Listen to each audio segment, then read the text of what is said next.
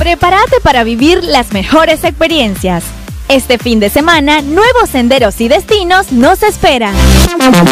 Con vista al volcán Mombacho, conquista, emociona a los más aventureros.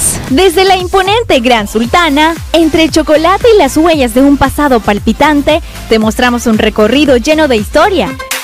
Conozcamos juntos nuevas propuestas de relajación y el arte de una ciudad impregnado en el pincel.